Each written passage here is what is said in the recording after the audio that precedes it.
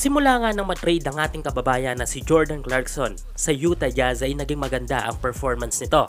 At sabi nga ng marami ay ito na daw yata ang isa sa mga successful trade ng 2019.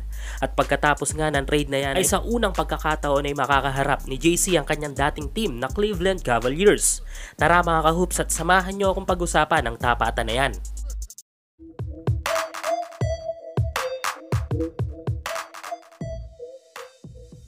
So bukas nga 8am ay makakaharap ng ating kababayan na si Jordan Clarkson ng kanyang former team na Cleveland Cavaliers sa unang pagkakataon. Natatandaan nga na trade si Clarkson ng Cavs kapalit si Dante Exum noong nakarang Disyembre lamang. Marami nga ang nagulat sa trade na yon dahil nga sa kabila ng magandang ipinapakita ni JC sa Cavs ay trade pa rin ito.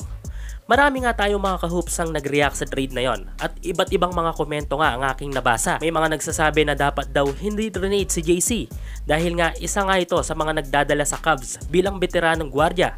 Habang yung iba naman ay sinasabing okay daw na trade para mas mabigyan siya ng importansya ng ibang team.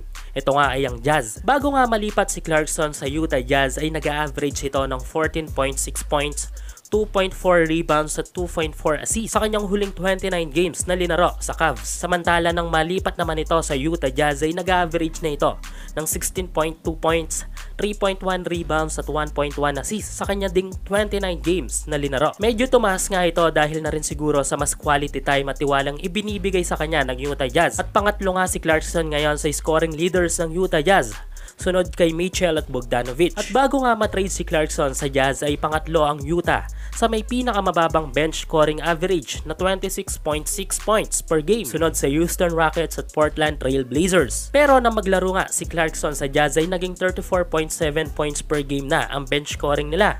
Kaya kitang kita talaga ang epekto ng isang Jordan Clarkson at sa paghaharap nga bukas ng Cavaliers at Jazz ay dito na makikita ng Cavs ang player na sinayang nila. Ang dating isineset aside na player dahil lamang sa ibang planong nice nilang mabuo para sa team nila ay ginising ng Jazz ang pinatulog nilang potential ni Clarkson. Kapatid na nga ang turing ni JC sa mga teammates nito dati sa Cavaliers ngunit kailangan nga muna niyang isang tabi upang ipakita kung anong Clarkson na ngayon ang napalakas ng Utah Jazz.